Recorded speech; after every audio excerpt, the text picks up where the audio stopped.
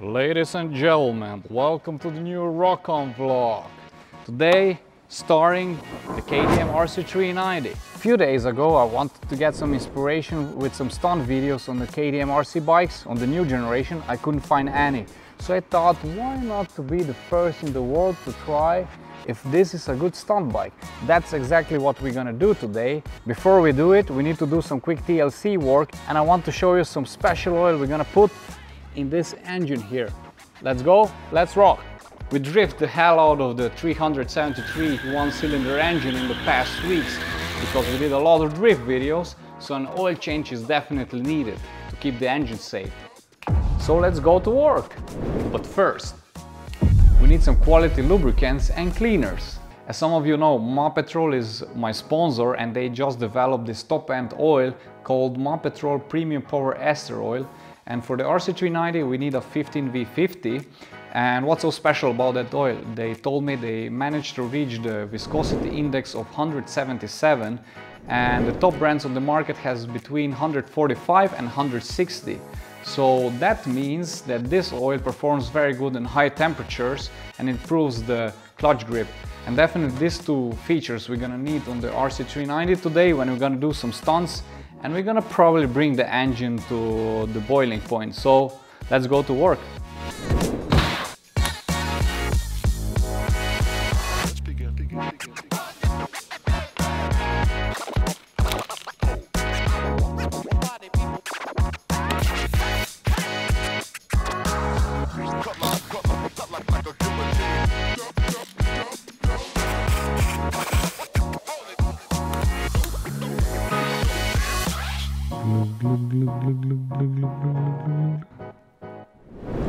Engine has the fresh oil and the next thing that we always need to check is the chain.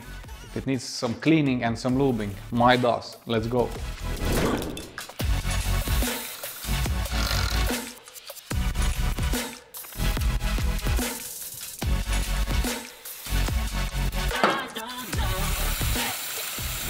And now a quick tire pressure check.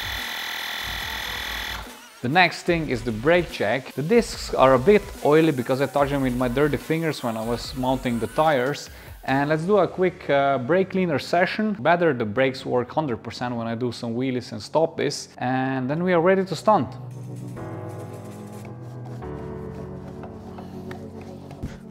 Bike check. Today I'm gonna push some limits and a crash can happen. I don't wanna scratch this beautiful baby here. So we needed to add some protection parts and we took a Duke 390 subcage, fitted it on the RC390 so it's a prototype thing.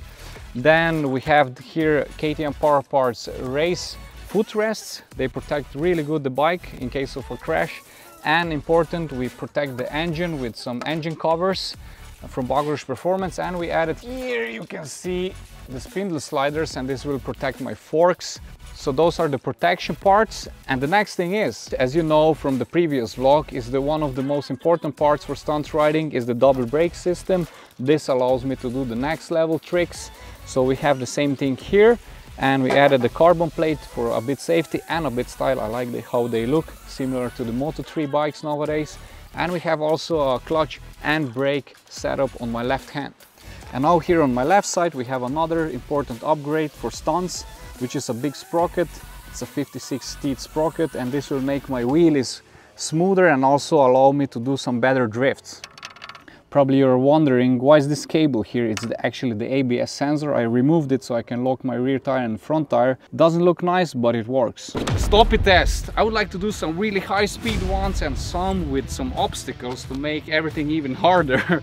and let's start with the hardest one, why not? So I would actually like to do a stoppie arriving here on the barrier, turn around and trying to land here with my rear tire and let's see if this works let's go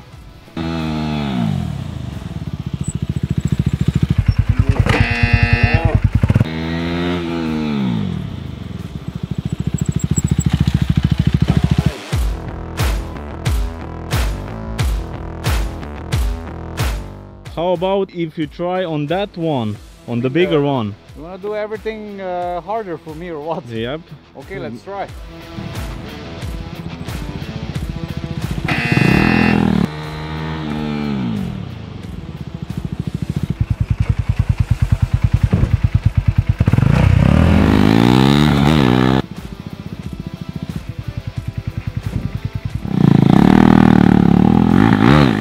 what is my longest stoppie with the KTM RC390.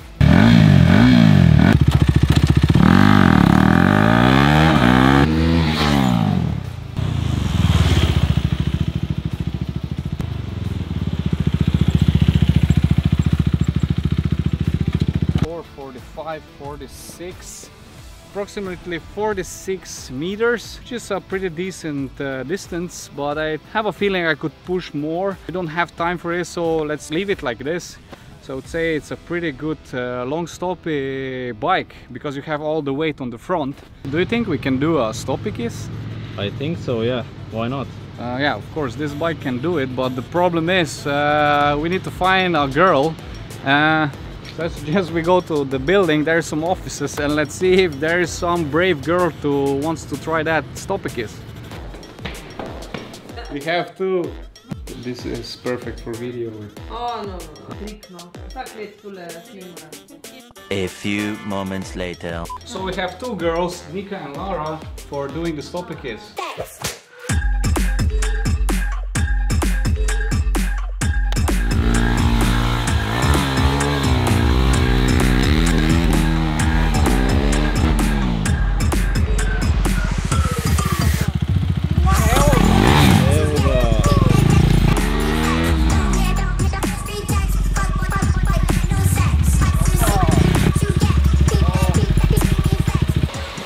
A kiss.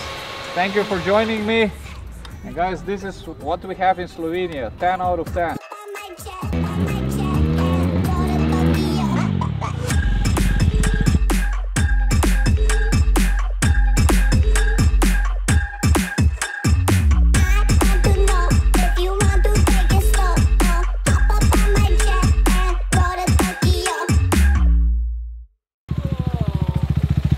How would you rate Stoppies from 1 to 5? I would actually rate it 4 out of 5. Uh, the, the bike is amazing on stoppies. Everything is moved on the front, so I have all the weight on the front wheel, so I feel the grip.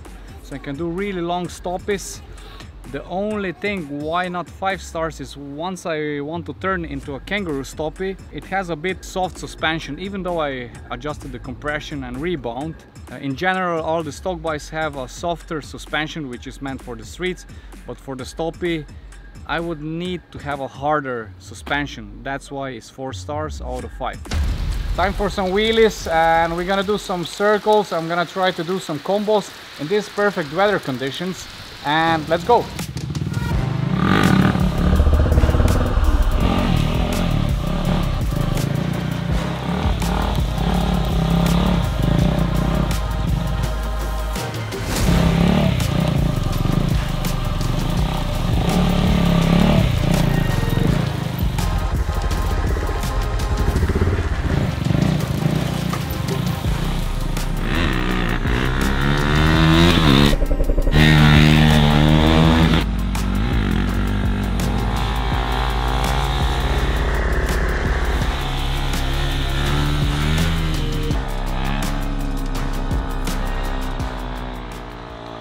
Ladies and gents, that was the wet wheelie session with a proper downpour. A bit of rain can't stop me, as you can see. but yeah, uh, I was struggling a bit, but the bike did its job properly. Uh, I need to rate it, so I'm gonna give it four stars. Why four and why not five again? It's because the superbike shape is not really good for when you do straight wheelies and you do in a sit-down position you can't see in front of you so you need to move left and right and catch the balance and that makes the whole thing a bit harder to do. But that's common in all super sport bikes. What is really good on that bike is super balance which means when I was standing on the seat I could really do long wheelies. And what I really like is actually that place here. It makes a really good support for my butt.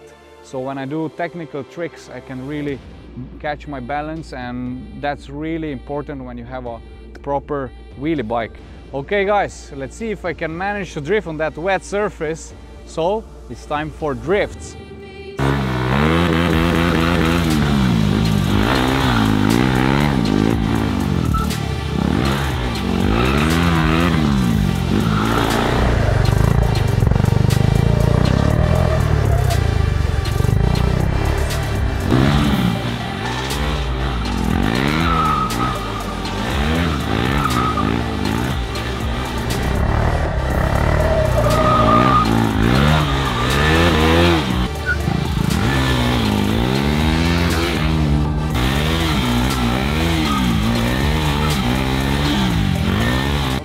Another challenge for me? Yep, the last one. Okay, let's go. Okay, what's the challenge? So Renato? the challenge is you need to drift as close as possible to these cones and not touch any of them. Whew, okay, this is gonna be do a tough one, man. Let's, do go. it.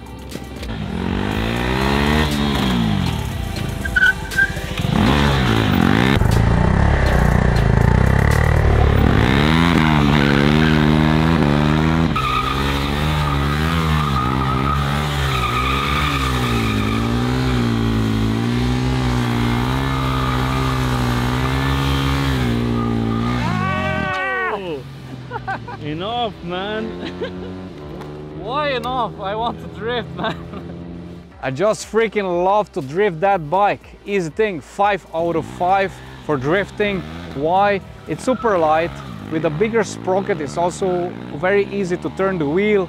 And because of its super sport shape, it's so cool when you hang down very close to the floor. Such a special feeling. So for those that want to learn drifting, that's the bike to have. So the conclusion is, the KTM RC390, it's a great stunt bike, literally.